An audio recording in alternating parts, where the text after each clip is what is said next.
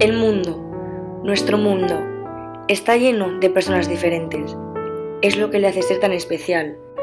Pero nuestro mundo sería más especial si no existiera la discriminación. El primer derecho fundamental del ser humano, de nosotros, es la libertad. La educación es el camino que nos conducirá hasta ella. Eduquemos en el respeto y en la tolerancia. Y evitemos la violencia, tanto la verbal como la no verbal.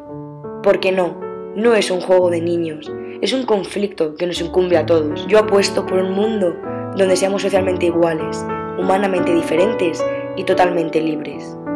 ¿Y tú? Actúa ya. Actúa ya. Actúa ya. Actúa ya. Actúa ya. Actúa ya. Actúa ya. Actúa ya. Actúa ya. Al